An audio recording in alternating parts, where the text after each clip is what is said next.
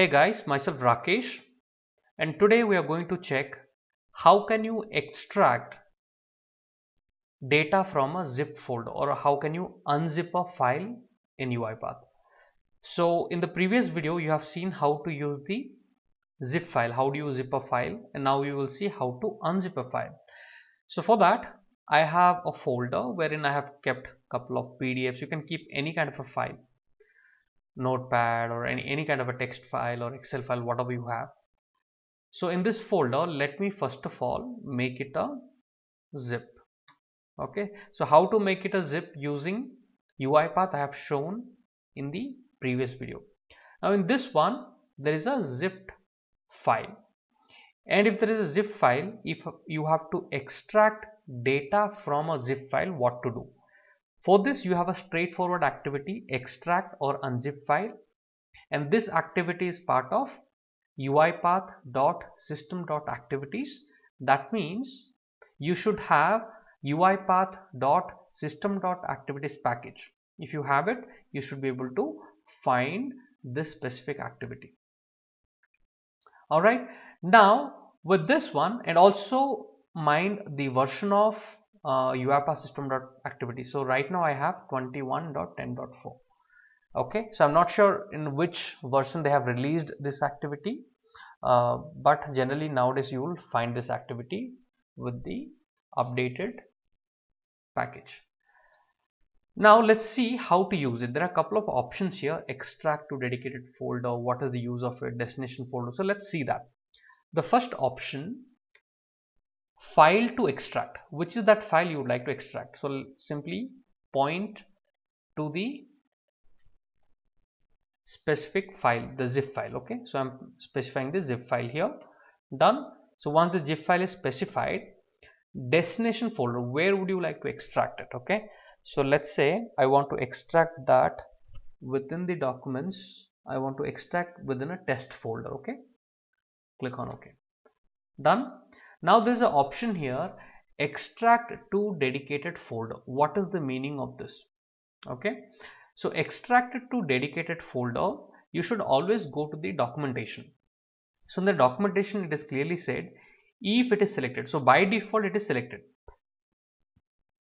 If selected, the contents of the zip files are extracted to a folder with the zip file name. So whatever the zip file name is, let's say sample PDF files. So with the same name it will be extracted that is created in the destination folder. So here my destination folder is test. So within the test it is going to create a sample PDF file as per the zip file name and within that it is going to extract another folder sample PDF file and then have the file. So let's see that practically what does this mean. If not selected the contents are extracted directly to the destination folder okay? All the contents will be extracted directly to the destination folder. You can experiment this. Let me run it and see the output.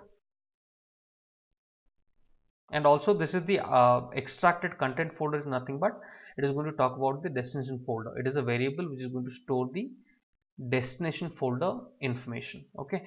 So this is completed. The run is complete. Let's go to the test folder. And you can see uh, as per the uh, zip file name it has created a folder over here. Then I see a folder inside that and this folder contains all the files. Now if I do not check that let me delete the extracted folder. Now the test folder is blank.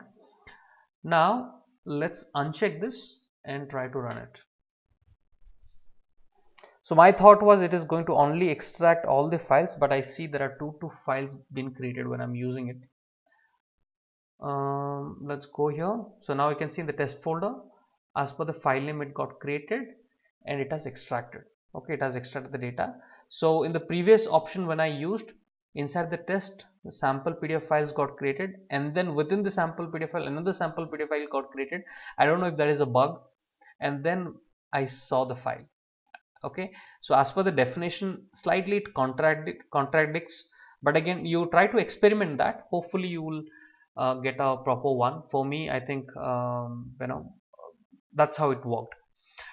Now what is the use of this one? Extracted contents folder. So if you create a variable over here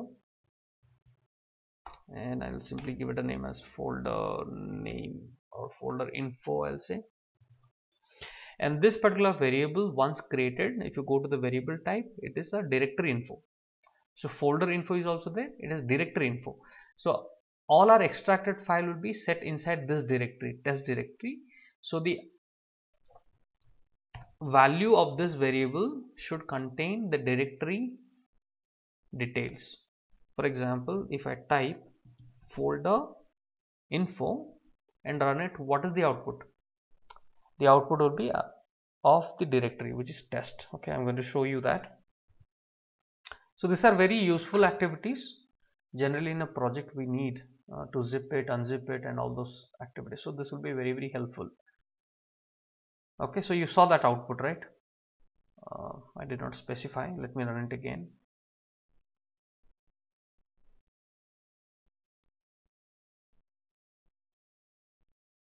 okay you can see it has got the details of the destination folder what we have specified here in the destination folder field.